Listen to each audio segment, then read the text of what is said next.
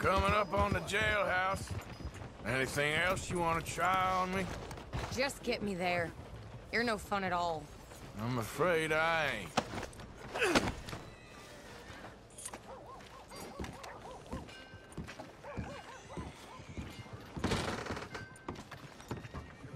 You order a lady killer here, Sheriff? Yeah, we did. Put her in the cell, won't you?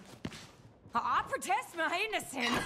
I protest my innocence. She might be a little shaken up. She lost another feller out by the falls. Poor dear. Men just got a habit of dying around you, don't they, Mrs. Swan? I hope you'll be comfortable, miss. She'll be fine. Now come get your money off the desk here.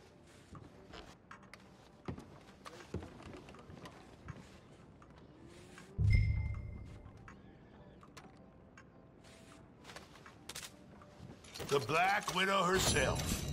This town's so starved of women, I'm sure she could find herself a husband yet. Well, that's cowboys for you. Indeed. So it seems this town's got more pressing problems than outlaws. Gonna take some time off posting bounties, impose law and order on the streets. That man has a heart of stone.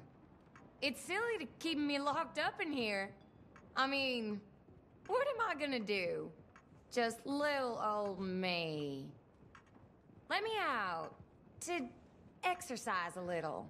I'm immune to your charms, Mrs. Swan. It's so boring in here. Can we have some fun, Sheriff? Just the two of us? And to think you was sniffing around this office at one point. I'm lucky you was charmed by another. You see, Sheriff, I know your secrets. And I could spread them all over. Like Miss Moria? Don't you dare mention Mora again. Now hush. Oh. Show me some sympathy, Sheriff. I'm a widow. A poor little widow. You forget? They can say what they like about you, but at least you respected the sanctity of marriage. Till death do us part.